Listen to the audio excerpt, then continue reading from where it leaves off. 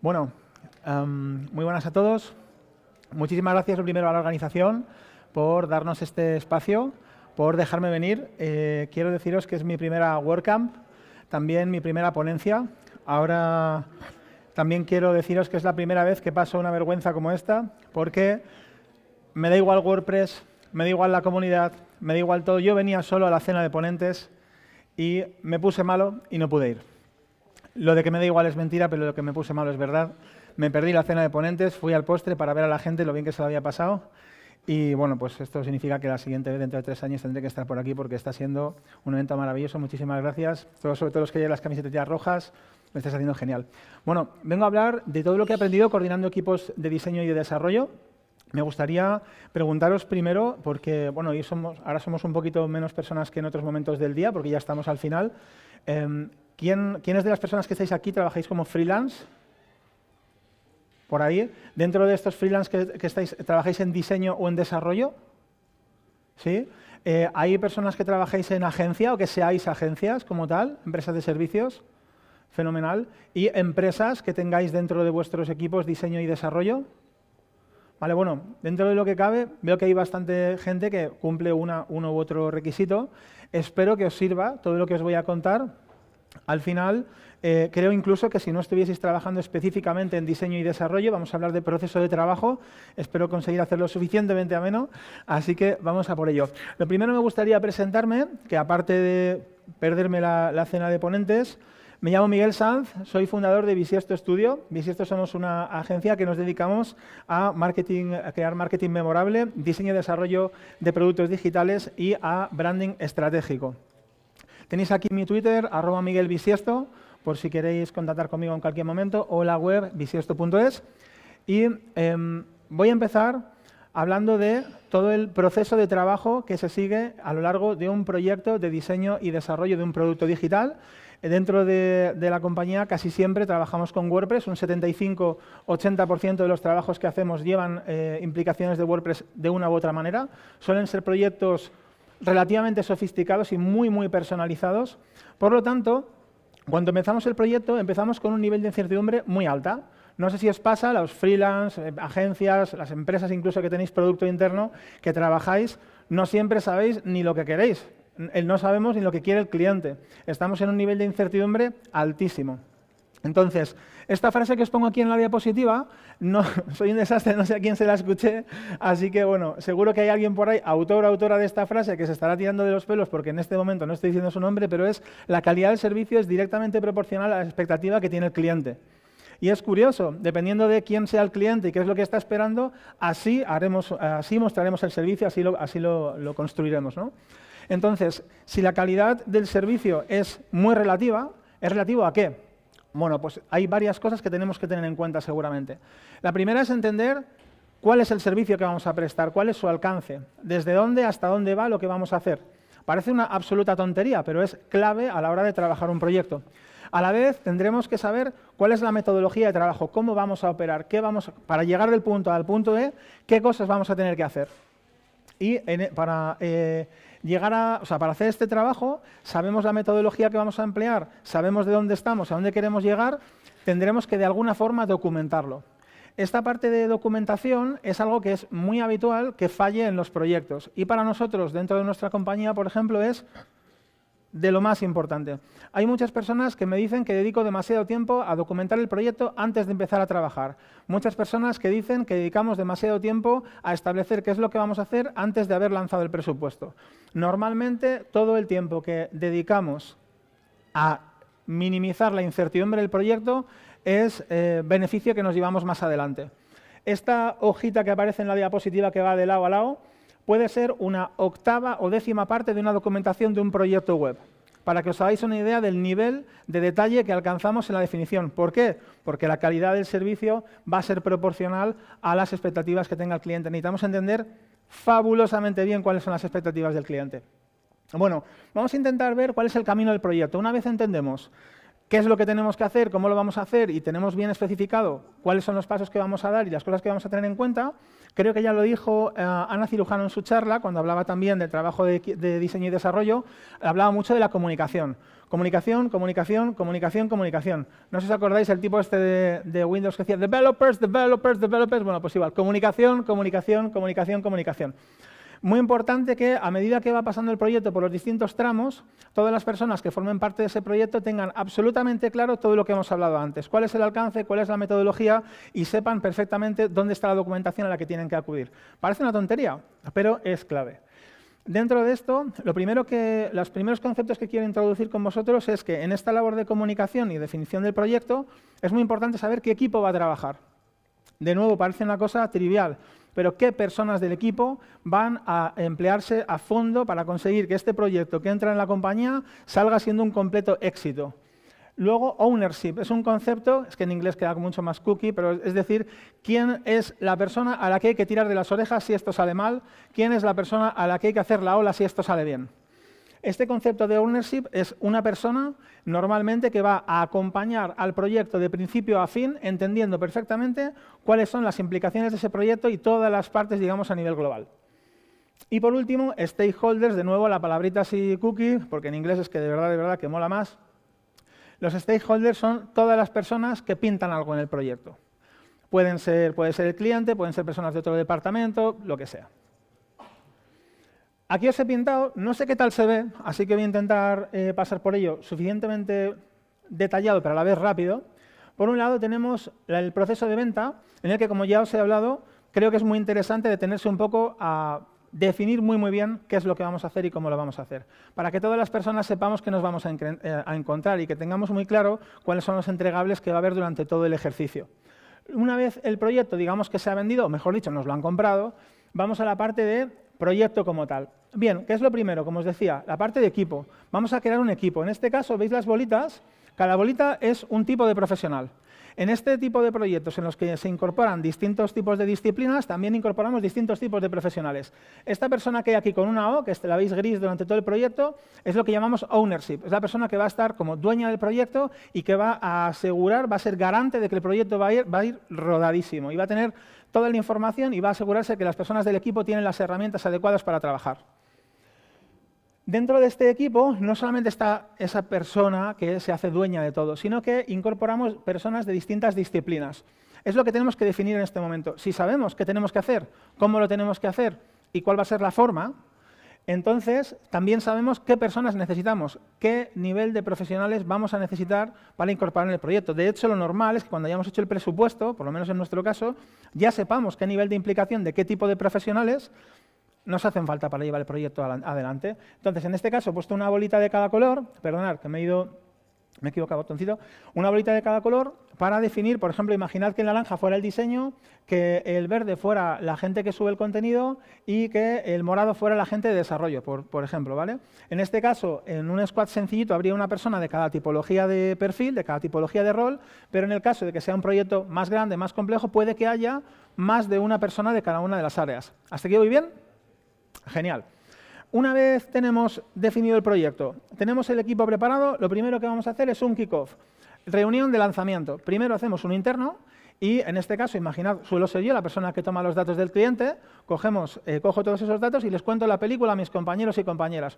Bueno, chicos, esto es lo que hay que hacer, repasamos la documentación la, ya se la han leído previamente, que para eso la hemos escrito, que ha llevado un ratito, y con esa documentación intentamos transmitir fabulosamente bien qué es lo que hace falta para el proyecto.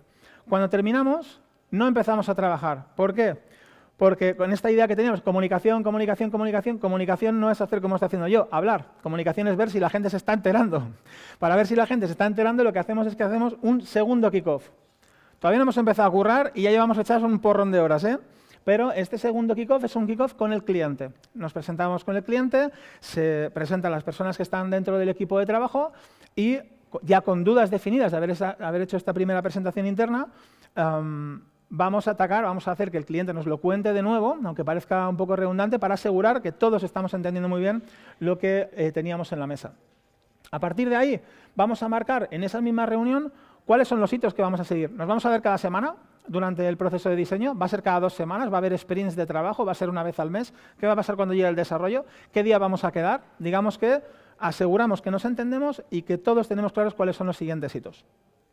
A partir de ahí iniciamos una fase de diseño. Voy a primero a recorrer las fases, eh, digamos, en general. Tenemos una fase de diseño, donde damos forma al producto digital, en este caso con WordPress, una fase de desarrollo donde convertimos todo lo que hemos hecho en diseño en algo accionable eh, dentro de una página web o incluso como un backend de una aplicación o lo que haga falta.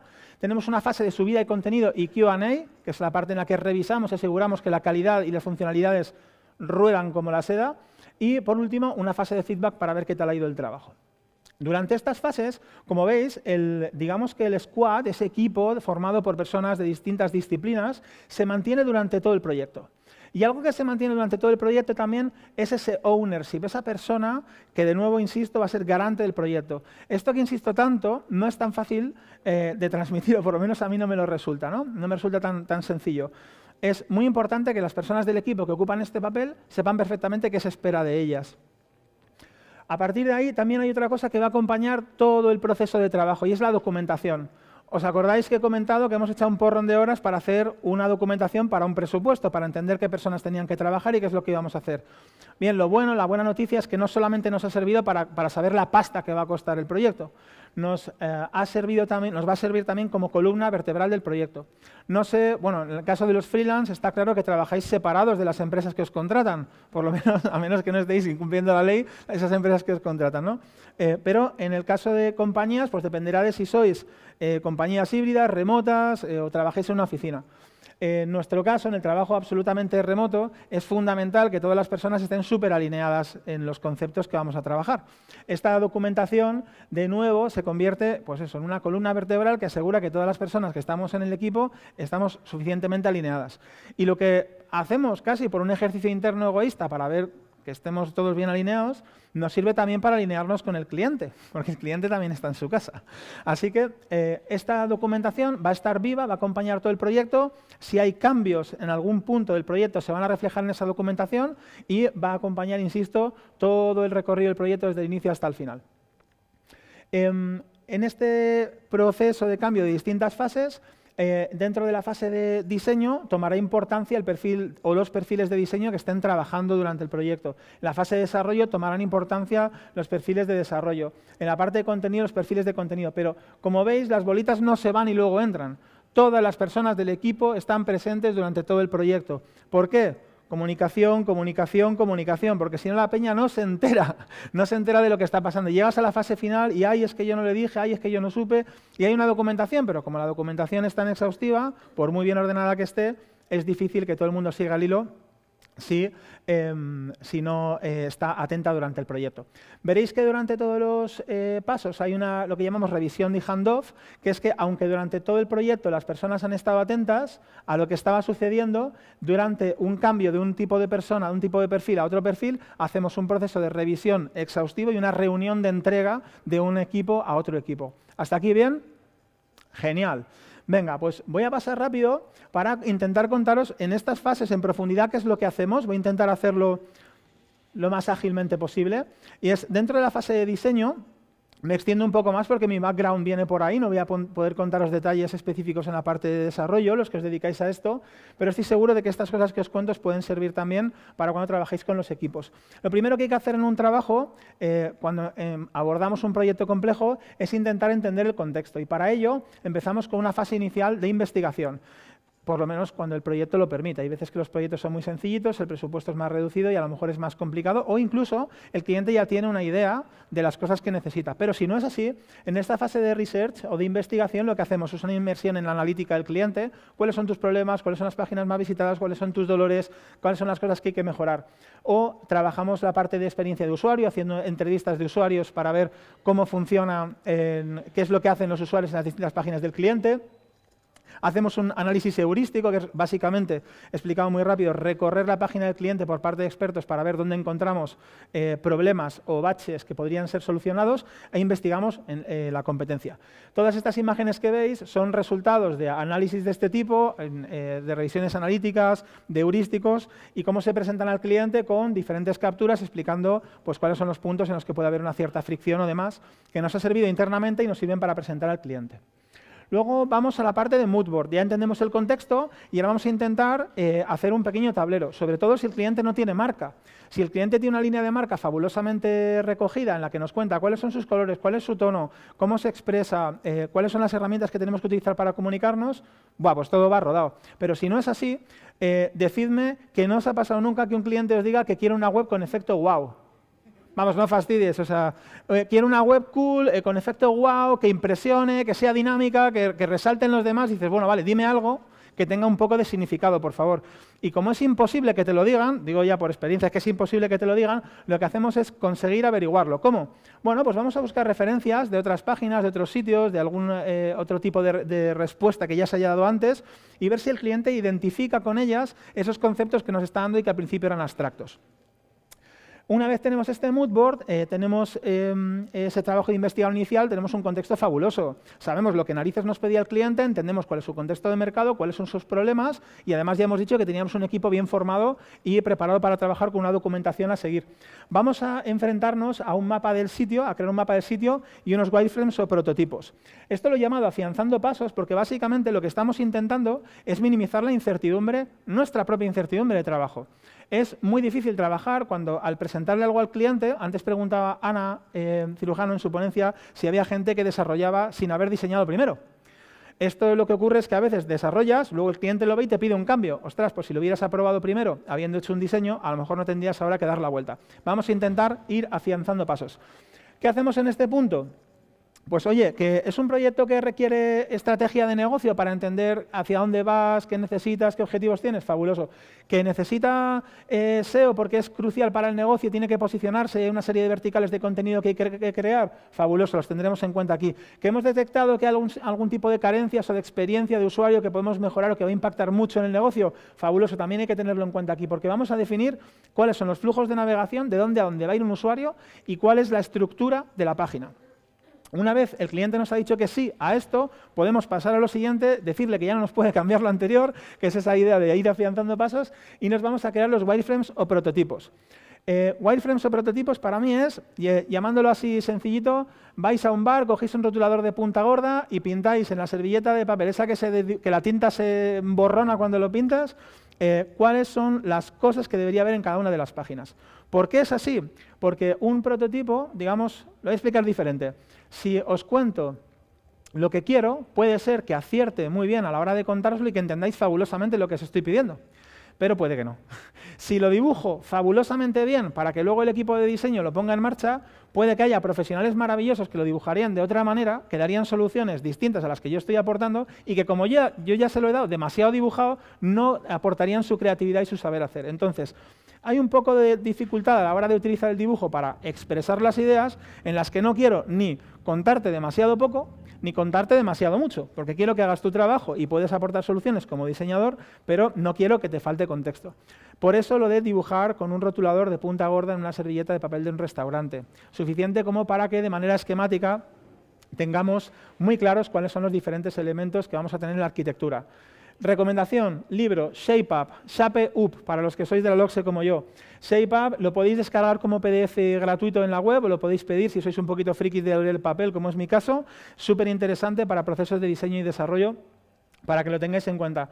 Developers, todos mirando por las rendijas a ver qué narices está haciendo el equipo de diseño. Y esto es obligado, es muy importante que durante todas estas partes del trabajo no se esté apartando el equipo de desarrollo de esto. El equipo de desarrollo tiene que saber cuál es la estructura, cuáles son las partes y estar muy atento. Una vez tenemos definidos estos dos puntos iniciales, vamos a intentar trabajar la parte visual y el sistema de diseño. Aquí sí vamos a intentar trabajar el diseño, seguramente como la mayoría de vosotros y vosotras lo conocéis, que es la parte de pinta y colorea. Porque hasta ahora estamos utilizando el diseño para solucionar problemas, para entender estructuras, para colocar el producto. Dentro de este mm, eh, proceso de diseño vamos a trabajar tanto la estética, la estética como las animaciones. Lo que veis en la diapositiva son distintos ejemplos de trabajo de un programa eh, como Figma, que también contaba Ana Cirujano esta mañana. Y eh, vamos a trabajar siempre con filosofía mobile first. No, es que mi empresa recibe más visitas de ordenador. Bien, pero a que si resolvemos los problemas más complicados, que son aquellos que están en un espacio más pequeño, una vez resueltos va a ser más fácil llevarlos a escritorio. Pues nos enfrentamos a los problemas difíciles siempre primero y luego vamos a por lo que venga.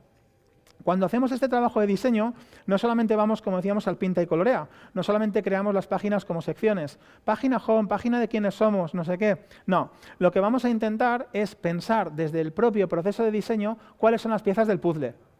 Cuando desarrollemos, vamos a desarrollar bloques que se van a poder llevar de un lugar a otro. En el caso concreto de, WordPress, nosotros trabajamos siempre en bases estándares, siempre con el eh, plugin, eh, perdón, con eh, la funcionalidad Gutenberg nativa de WordPress y hacemos bloques personalizados cuando es necesario. Por lo tanto, es muy importante que desde el equipo de diseño estén pensando cuáles son las piezas del puzzle, cuáles son esas piezas del rompecabezas que luego podría sacar como sección o como bloque de un lugar a otro y minimizar el trabajo. Eh, ¿Por qué digo minimizar el trabajo? Porque no es lo mismo que cada vez que vaya a hacer una página me tenga que inventar todos los bloques, que si yo está pensando que en tres páginas tengo un bloque de preguntas frecuentes, ya haya hecho ese bloque para que me lo pueda llevar a las tres páginas, por poner un ejemplo que se me ocurre así a lo bruto. Mientras tanto, el equipo de desarrollo, de nuevo, fichando qué está pasando, porque si no, cuando llegue todo a la mesa, por mucho que hagamos una, reunión en la que pasemos el diseño al desarrollo, ya será tarde. El cliente ya habrá visto lo que le hemos mostrado, ya eh, le estaremos dando opciones para hacer cosas que en realidad no se pueden hacer porque el equipo de diseño se ha puesto muy creativo y es muy importante que el equipo de desarrollo esté presente durante todo el proceso.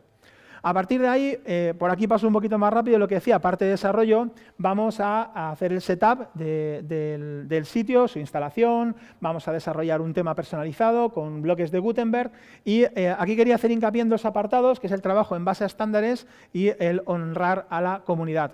Em, creo que es fundamental no solamente no escupir al yo del futuro, a los nosotros del futuro, eh, sino incluso también pensando en que cuando trabajamos para un cliente, si ese cliente quiere seguir trabajando con nosotros, que sea porque hacemos un trabajo, iba a decir una palabrota, fabuloso. Y si no hacemos un trabajo fabuloso, que se vaya con cualquier otro profesional que sea capaz de darle servicio y que no se encuentre con un problema de narices, porque no hemos sido capaces de ordenar el código, porque no hemos sido capaces de documentarlo o, peor aún, porque no hemos trabajado en base a estándares. Nosotros siempre solemos decir, y lo digo con mucho orgullo, que cualquier persona, si de repente un día le quedamos mal, se puede ir con cualquier persona, eh, eh, cualquier, cualquier empresa que trabaje en base a estándares del mundo, que hay, gracias a Dios, un montón. Entonces, creo que es absolutamente importante que todas las personas que trabajemos en un sistema, sea WordPress o sea el que sea, trabajemos en base a los estándares de ese sistema para facilitarnos la vida al yo del futuro o a los demás profesionales del sector, especialmente eh, hablando de WordPress con la comunidad que tenemos tan, tan rica. Mientras tanto, el equipo de diseño eh, como la vieja del visillo está observando para ver qué hace el equipo de desarrollo, porque hay que comprobar lo que se está haciendo hay que comprobar lo que se está haciendo. ¿no? Hemos diseñado una serie de cosas, el equipo de desarrollo podría haber tomado determinadas decisiones de manera unilateral y el equipo de diseño, estoy seguro de que si lo va revisando, podrá ir viendo que todo encaja con el diseño aprobado con el cliente y nos, eh, eh, minimiza problemas. iríamos a la parte que os he contado antes de subir el contenido, una revisión interna, y aquí os pongo que hay que ir a hacer daño, y es porque cuando vamos al cliente, el desgraciado con todo el amor que les tenemos, va a encontrar eh, ese problema. O sea, va a ver lo que sea que nos ha fallado, lo va a ver. Eh, mamá, mamá, no encuentro los calcetines, diez minutos buscando los calcetines. Llega tu madre, abre el cajón y están los puñeteros calcetines eh, justo en la punta del cajón, pues exactamente lo que va a hacer el cliente con ese ojo clínico que tiene como talento especial.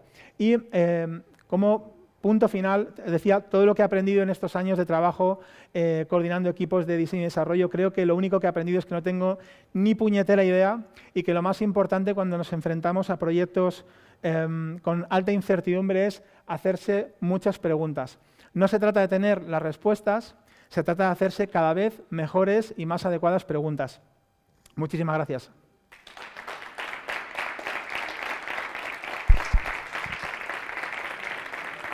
Y hablando de preguntas, ¿no? ¿Alguien se anima a hacer alguna preguntita? ¿Alguna preguntita? Tranquilos, tranquilos. hay tiempo para todos.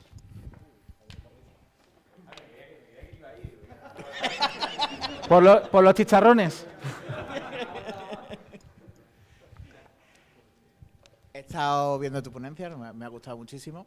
Muchas gracias. Eh, he visto ahí que tenías algunos procesos de SEO, pero el SEO no, no, va controlando todo, por lo que veo, va controlando algunas partes, ¿no? Eh, hablaba que, sobre todo al principio, digamos que hay varios puntos, no está quizás bien representado en la diapositiva, así que voy a intentar explicarlo lo mejor posible. Eh, cuando hacemos un proyecto en el que el SEO está muy involucrado, que es mucho de ellos, gracias a Dios, Normalmente el SEO se involucra desde el punto inicial, es lo que quería representar al principio, desde la propia definición de cuál es la arquitectura del sitio, eh, tanto a nivel de páginas y estructura, cuáles son sus verticales, cómo van ordenados, qué lugares ocupan los diferentes menús, como luego en la definición de los wireframes o prototipos en los que vemos cuál es la arquitectura e información de cada una de las páginas. Fundamental eh, que el equipo SEO pueda marcar la pauta de esto, pero luego durante el diseño sí que pueden estar atentos para ver que esto se va cumpliendo. En principio debería haber quedado definido. Serían otra diapositiva más con alguien mirando entre las cortinas. Em, y por supuesto, al final, en el momento de subida de contenido, eh, absolutamente vamos, crucial, eh, entender que se está subiendo etiquetando el contenido correctamente, metadatos y bueno, todo lo que haya que tener en cuenta. No soy SEO de profesión, pero bueno, todo lo que los que sois SEOs aquí sabéis hacer bien. Y eh, por supuesto en la parte de subida, eh, ver si en la, digamos, la respuesta técnica que tiene el sitio es la adecuada, ¿no? tanto a nivel de carga y demás. O sea que sí que el SEO tiene un acompañamiento absolutamente crucial durante todo el proyecto, pero es verdad que donde lo he querido marcar es en el inicio, porque es donde se marcan y se te dan las pautas, incluso esas pautas a nivel técnico también se marcan inicialmente. Luego se comprueba que estamos cumpliendo con ellas. Vale, muchas gracias. servido? Te quería hacer otra pregunta, si puede ser. A mí me encantaría. Me encanta hablar de, nuestro ombligo. Vale, el tema de la documentación, ¿la recicláis para un cliente para otro o es única en cada cliente? Bueno, este es un, tema eh, por el que hay gente que de verdad que me, critica mucho. Eh, sí que es cierto que tengo algunas partes que están ya preparadas para, para todos los clientes, pero son las partes relativas a nuestra metodología de trabajo tenemos ya eh, incluso, por ejemplo, esta metodología que os acabo de contar, la tenemos creada incluso en una, documentación, incluso con un vídeo, eh, con eh, capturas también, o sea, lo puedes leer o, ver, sale un servidor contando todo esto. Y creo que es muy interesante tener la metodología ya recogida para poder incorporarla de manera directa. Incluso, como normalmente las webs, al final, cuando hablamos de webs en concreto, suele haber, bueno, puede haber muchos tipos, pero hay algunas cosas que son comunes. Por ejemplo, todas las webs normalmente tendrán una página 404. Si hay un blog, lo normal es que todos los blogs tengan una página de categoría, una página de portada, una página de artículo una página de autor. Eh, y así con muchas partes. ¿no? Entonces sí que es verdad que tenemos eh, estos bloques ya hechos como una plantilla base, pero es muy básica. Y esto lo aplicamos también al desarrollo, pero es una manera de trabajar que, tenemos en concreto, no es la más eficiente, pero sí es la en la que creemos. Tenemos una base muy cortita y hay un trabajo de personalización muy alto. Estoy seguro de que podré mejorar lo presente a medida que avancemos el tiempo, ganar en calidad de vida, incluso es probable que me crezca el pelo, porque lo paso muy mal, lo paso muy mal haciendo este trabajo tan minucioso y tan manual. Pero la realidad es que aprendemos mucho y creo que a base de ese aprendizaje podremos estandarizar en el futuro. Muchas gracias y si te crece el pelo avisa, porque aquí alguno no hace falta. Bueno, creo que hay formas, luego hablamos. Muchas gracias, está muy bien. Em, ¿Cómo gestionáis o gestionas mm, las expectativas o las prisas de ciertos clientes? Porque, o sea, yo entiendo desde mi lado, desde el lado de los que estamos aquí, que vemos necesarias toda esa cantidad de horas, pero seguro que hay veces que el cliente dice, ya, pero quiero ver el resultado ya, o enséñame cosas, deja de preguntarme. Más o menos, bueno, digamos que la respuesta corta sería mal. ¿Cómo gestionáis las expectativas del cliente a nivel de tiempos? Mal. Em, ¿Cómo lo intentamos hacer bien? lo primero es intentando que en esas reuniones iniciales se entienda muy claramente lo que vamos a hacer. Lo segundo es que probablemente, esto en nuestro caso concreto, no podemos abarcar todo tipo de proyectos. Los proyectos que abarcamos requieren cierta dedicación en tiempo. Eso es así. Si no, se le da otra solución. Se coge un eh, editor de bloques puro y duro, se arrastran y se sueltan cosas, se monta una landing en un tiempo que sea y a correr. En nuestro caso, digamos que la respuesta es un poquito más sofisticada y requiere tiempo. creo que ese sería el punto clave. Pero, insisto, yo creo que lo llevamos mal. Eh, otra de las cosas que hacemos y que hemos ido aprendiendo es que probablemente si esperamos que para que el cliente vea algo, esperamos a llegar al final de cada una de las fases, el cliente ya lo está pasando mal. Entonces, trabajamos continuamente en este proceso que os he contado, eh, entender cuáles son las maneras de hacer llegar al cliente el valor lo antes posible. Me explico. Si en la fase de diseño trabajamos semana a semana, es muy fácil que el cliente vaya viendo los avances semana a semana. El cliente entiende que estamos trabajando y además de manera conjunta, con lo cual no suele haber mucha queja. Pero cuando llega al, equipo de desarrollo y nos ponemos a trabajar y de repente el proyecto se demora tres meses, tranquilamente, ah, el cliente se pone un poco tenso. ¿Qué estamos haciendo? Aunque no sea quizás la forma más óptima de trabajar en desarrollo, entender que la forma más, óptica, más óptima de trabajar para el cliente no es entregar a los tres meses, es entregar cosas cada X tiempo, porque además venía acostumbrado de los procesos anteriores. Entonces estamos intentando y os digo estamos intentando porque a veces no sale bien y a veces no tanto, hacer entregas volantes durante los proyectos para que el cliente pueda ver zonas construidas y poder dar su, validación. Nos ayuda a validar, pero sobre todo a minimizar y mitigar la incertidumbre del cliente. El año que viene te cuento más cosas, espero. espero seguir aprendiendo. Eh, nos daría tiempo a una más rápida, rápida. ¿No? Vale. Claro, depende de lo rápido. Claro, si es de sí, no, a lo mejor dos. Eh, Miguel, lo primero, muchísimas gracias porque has hecho una exposición eh, increíble. Gracias. Eh, a mí me ha, resonado mucho lo de la documentación del proyecto. Enhorabuena por, hacerlo, porque a mí me parece súper difícil, sobre todo en, todas las fases, ¿no? documentar el proyecto desde, desde el inicio. Si hay un cambio en cualquier fase, se recoge en documentación. Cuéntanos esto, desde el, desde el primer momento lo habéis hecho así. ¿Cuesta, no cuesta? ¿Quién, ¿A quién le cuesta más? Gracias. Gracias a ti, nos cuesta a todos. Es un reto absoluto, no es fácil de cumplir hace falta estar con la vara de avellano golpeando a las personas para que rellenen la documentación, pero una vez has dado un par de golpes, las siguientes veces solo con amenazas normalmente eh, conseguimos que se cumpla. Bueno, aparte de la broma, eh, hay una fase inicial absolutamente crucial que es la definición previa. En esa definición previa o bien participan las diferentes personas y disciplinas que van a formar parte del proyecto o hay alguien muy inteligente que hace esa documentación porque entiende todas esas fases. Creo que ese punto inicial es crucial para que desde el principio la definición sea clara. Luego, en lo que tiene que ver con participación, como hay varios momentos hay un owner del proyecto, ya hemos quedado que había alguien a quien podíamos tirar de las orejas para asegurar que el proyecto iba bien. El proyecto también es la documentación, ese owner tiene entre sus misiones asegurar que la documentación se mantiene. Em, y luego, no lo he comentado, pero en este caso está hablando de una documentación en Notion, como la hojita que os mostraba antes, que es la herramienta que utilizamos, que es básicamente documentación escrita, en la que se cambian, pues oye, como teníamos las funcionalidades que hay que tener, si hay una nueva se añade, funcionalidad añadida y la fecha. ¿no? Eh, pero luego, aparte, cuando hablaba también de respetar los estándares, eh, de trabajar para la comunidad, eh, de, ser serios en nuestro trabajo, hay una documentación propia del, digamos en este caso, del código. Cuando se trabaja el código, se trabaja de una manera estructurada, ordenada y comentada. Y además, cuando se entrega, se entrega un repositorio Git al cliente con el proyecto terminado. No se sube, no, el proyecto, el entregable de la web es tu web en un servidor. Sí, colega, tu web en un servidor y tu código, bien documentado, conectado y eh, comentado y con una wiki explicando cualquier punto que se salga de esos estándares lo más mínimamente o que requiera explicación. Esta parte no es tan difícil, es más difícil durante el mantenimiento, pero una vez terminas el proyecto, como uno de los hitos de los entregables es crear esta documentación. Entonces creo que desde esa parte inicial más compleja, esta parte final que ya cierra un poco el círculo, y la vara de Avellano que lleva el responsable, la responsable de proyecto, más o menos vamos salvando la situación. Muchas gracias. ¿Nos divertimos mucho? Muchas gracias. Un gran aplauso a, a Miguel.